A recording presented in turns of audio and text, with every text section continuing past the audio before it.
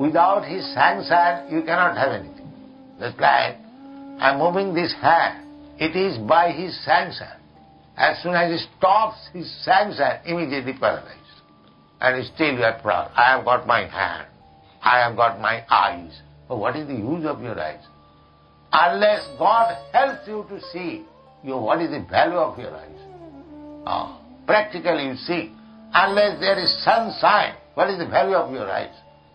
So, but still we are so full, we are thinking, can you show me God? I mean, what power you have got to see, first of all, consider. Then you will see God. You cannot see even what ordinary things. What you, uh, uh, question of seeing God.